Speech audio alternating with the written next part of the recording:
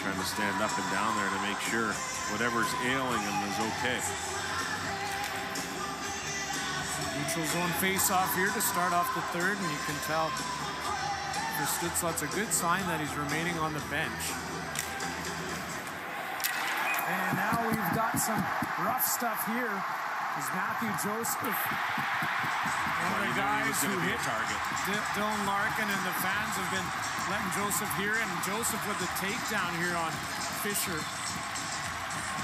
He's drawn the ire of the fans here on the Detroit bench for what happened to Dylan Larkin back in that first period. And Fischer right away off the draw said, hey, I'm coming after you here. And did his part to his part to try and support his teammates.